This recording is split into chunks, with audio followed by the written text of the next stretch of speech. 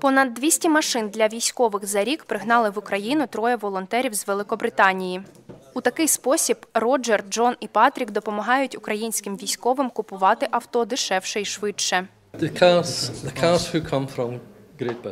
Машини, які ми привозимо з Великобританії, праворульні. Російські снайпери цілять в ліву сторону. В цих машинах військові в більшій безпеці, а російські снайпери тупі. Ми не маємо відношення до жодної з держструктур і не проходимо через бюрократію. Не чекаємо 2-3 тижні. Частину машин волонтери купують власним коштом або ж збирають донати в Великобританії. Інколи привозять машини, на які зібрали кошти українці. В дорозі проводять тижні, втім зупинятися не збираються. Мені спокійно в цій країні. Навколо люди, які піклуються про це. Нас захищають українці.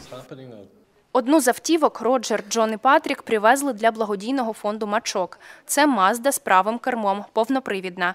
Це вже восьма автівка, яку придбали у фонді для потреб військових. Нині її ремонтують у Кропивницькому.